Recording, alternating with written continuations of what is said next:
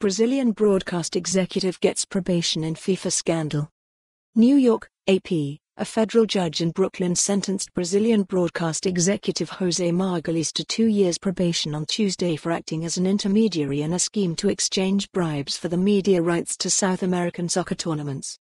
Margulies participated in a massive worldwide conspiracy between 1991 and 2015 in which he facilitated $80 million in bribes to soccer officials, said Judge Pamela K. Chen. This is a serious crime. His conduct was part of the FIFA scandal, which destroyed the credibility of professional soccer, noted Chen. The judge also barred Margulies, 80, from working in sports, television and marketing.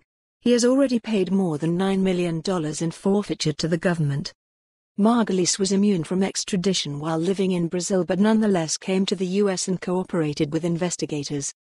I knew that what I was doing was wrong, said Margulies, adding that he has nobody to blame but himself. For more on this story, visit the news article link.